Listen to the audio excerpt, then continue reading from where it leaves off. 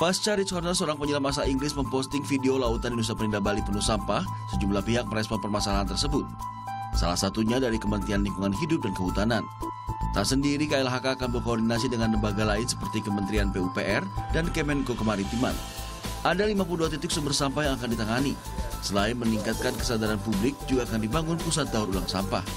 Ternyata ada 52 spot tempat sumber-sumber sampah di Bali itu yang tanda kutip gitu ya eh, tidak terkontrol oleh pemerintah daerah.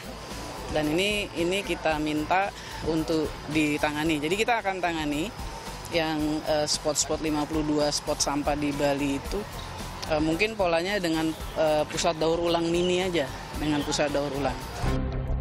Sebelumnya, Rich Horner, seorang asal Inggris, memposting video lautan Nusa Penida Bali ke YouTube dan Facebooknya.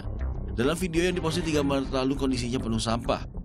Selain viral di media sosial, video berdurasi satu menit itu menjadi pemberitaan media-media di luar negeri.